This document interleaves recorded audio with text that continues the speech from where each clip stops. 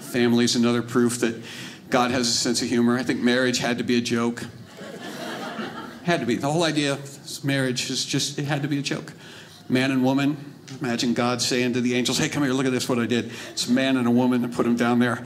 Uh, two entirely different creatures, different sensibilities, different ways of processing things, emotional levels.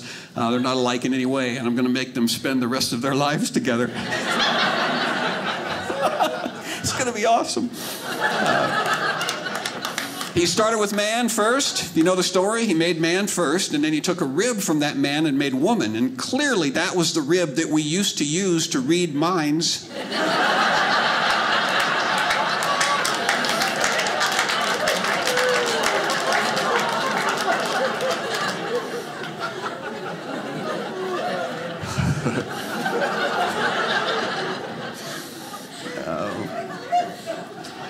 look for the humor in your life, all right? Don't be, don't be hung up and, and correct and tolerant. Just, mean, just have fun. Just have fun. There's, there's comedy everywhere. We don't communicate very well anymore in this culture. That's the problem, too. We used to be able to communicate. We used to have uh, words. Some of you old people remember words? Remember those? Was like, kids, you don't know what we're talking about, but there was, there was a, an alphabet, and you could take letters from that alphabet and arrange them in certain ways to form these things called words, and those could be used to communicate ideas. And now we just text people things. Um, emojis. I got, a, uh, I got an emoji from my kids a couple of months ago, and it was just a smiley face, an explosion, and a pile of poop with eyes in it. And, and that meant happy birthday, Dad. But it wasn't always that way. It used to be we had words, we would communicate. I did some research. William Shakespeare, William Shakespeare uh, had an active vocabulary of 54,000 words. 54,000. Today in the United States, we, all of us, have an active vocabulary of 3,000 words. Which is why when we read Shakespeare, we're lost. We're, we're like, what light through yonder whereupon wood breaketh on the. Yeah. And just put in a DVD. I don't, I don't pay for Netflix so you kids can sit there and read. and I started thinking about little kids in the 16th century. Those kids had a bigger vocabulary than I have now as an adult because they were exposed to that language, which means I am not smart enough to read fairy tales to 16th century children. I'd be lost in the kids section at the library in the 16th century. Can you, can you imagine what their books were like?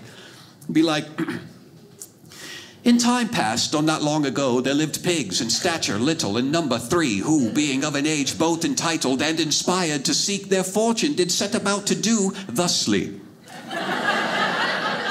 when they had travelled a distance, Pignub at first spake, saying, Hearken, brethren, heed this tempestuous realm. Tarry we long from hearth and home, we shall fare, I fear, not well. And so, being collectively agreed but individually impelled, the diminutive swine set about each to erect for himself an abode. Pig numbered first did construct his house from straw. Pig numbered second did likewise, though rather not from straw, instead from sticks, meanwhile, unique in his imagining. Pig numbered three did erect as his domicile, stalwart and garish, a structure made from brick entirely. Ah, but soon there happened along, as is frequently the scenario in classic tale of protagonist pig or red hooded child.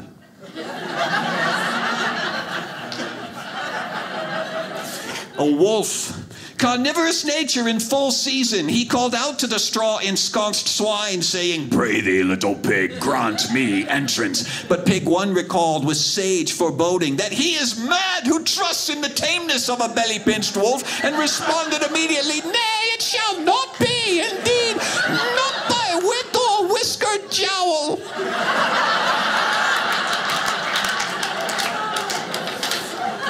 To this most expected response, the wolf replied immediately, Then steel thyself, little pig. Forthwith shall I endeavor, in blowing means both huffing and puffing, to dismantle yon flippin' flaxen fortress. Whereupon there issued forth from the wolf an exhale of gale proportions that quickly rendered straw hovel to dregs and dross and carried aloft piglet and shattered quarters both. Exposed now to claw and fang, Piglet 1 made haste, wolf in pursuit to the stick festooned sanctum of Peccary Secondary. Causing Pig 2 to cry out in dismay, Well, this knots my knickers! Marshalling a feral wolf to my doorstep is nowhere among those endeavors amenable or congenial. A thousand pardons, begged one. It would seem the beast's painful breath hath purged me of home and sound judgment alike. The malevolent blast of the wolf's exhale splattered second swine shack and short his sanctimonious scolding simultaneously. Lo behold, squealed two, stand we now amid wooden wreckage, tremulous and vulnerable, with nary a strategy for eschewing the canine devourer looming in deadly proximity. Strategy, exclaimed one, while 'tis noble the contemplation of tactical particularities, pressed as we are with time restraints forbidding detailed strategical conversation, I would urge we run.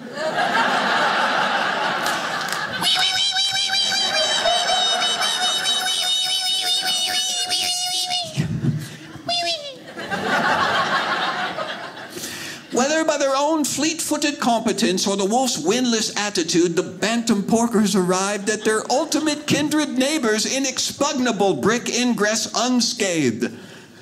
Upon the third pig's door, with urgent hooves they pounded, calling out, Unbar this entrance, and with haste we beseech thee. The third pig hailed from the American colonies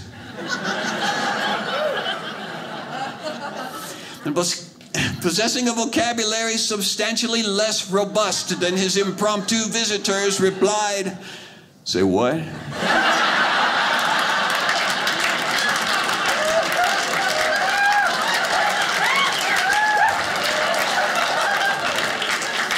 Seek we sanctuary, they implored on the verge of hysteria, lest we fall forthwith to the ravenous appetency of yonder approaching carnivore. Still confounded by their importunate words, Pig 3 did render ajar his portal, whereupon 1 and 2 spilled through and collapsed beyond his threshold, enervated. So y'all just wanted to come in? Why didn't you say that? Hiss of the wolf could be heard. Pray thee, pigs, grant me entrance. The wolf said one and two. Wolf said three. What do you suppose he wants? He seeks to gain purchase within. Indeed, he would occupy this very alcove where he but afforded the most meager of opportunity. Right.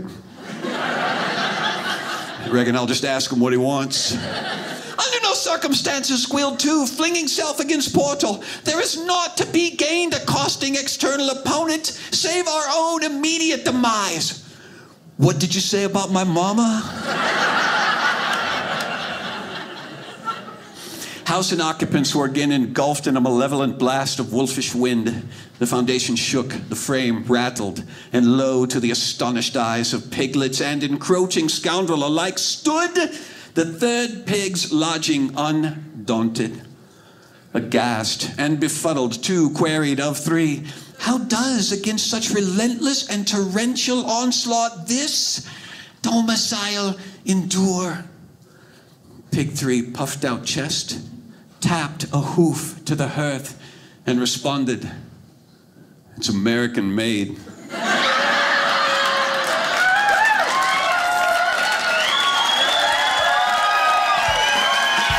I'm done. Thanks, you guys. Hey, did you know Dry Bar Comedy has its own app? No, you didn't. Don't lie. They do. Here it is. You can download it right now and watch my whole special.